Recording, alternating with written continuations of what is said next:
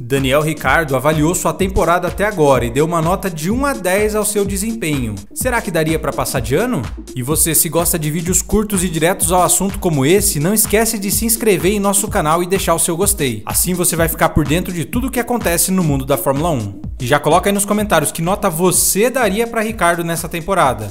Ricardo tem tido muitas dificuldades nesse seu início pela McLaren. Quando saiu da Renault, Ricardo era o primeiro piloto da equipe e estava começando a se aproximar mais dos pódios e vitórias mas agora está com dificuldade até mesmo de conseguir um desempenho razoável com sua McLaren. Em entrevista, ele disse: Não foram meus melhores seis meses, mas acho que estou no caminho certo. Acho que as coisas fora da pista, o que fizemos como equipe, foi positivo. Ricardo reconheceu também que está tendo que estudar mais do que o normal esse ano os dados do carro para conseguir o melhor desempenho, algo que ele mesmo confessou que não fazia muito anteriormente. Mas agora, que nota Ricardo deu para o seu desempenho? Vamos ver o que ele disse. Tenho muito que aprender sobre o carro e depende mais de mim. Mesmo o carro sendo diferente no ano que vem, preciso entender o carro desse ano para saber onde estarei no ano que vem. Eu não daria uma nota excelente, algo em torno de 5. E aí, 5 dá para passar de ano, mas bem no limite, hein? Se você fosse Ricardo, que nota daria até agora? Deixa aqui embaixo nos comentários.